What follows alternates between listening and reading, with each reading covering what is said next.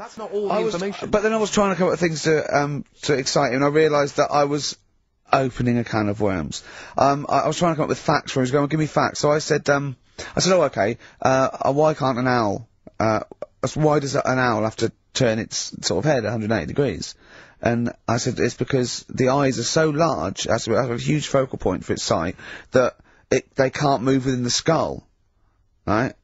And he went, well, why'd they do that? Why don't they just do it, give them normal eyes, and let, and then after I've turned their head? I went, what do you mean? Why didn't they? He went, well, whoever did that. I went, well, it was evolution, it was, uh, he went, right, he went- it's like giraffes. I read that giraffes uh, grew their necks to eat food. Said, well, didn't, they didn't grow their necks to get the food.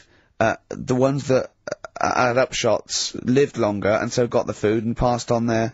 He went, yeah, but why didn't they just give them wings? I went, why didn't who just give them wings? He got angry and went, whoever gave them the necks. his, his understanding of evolution made me fall on the floor. Who do you imagine is they? Because you don't believe in God, do you? So who is it you imagine is they? Well, whoever made us sorted us out. Who?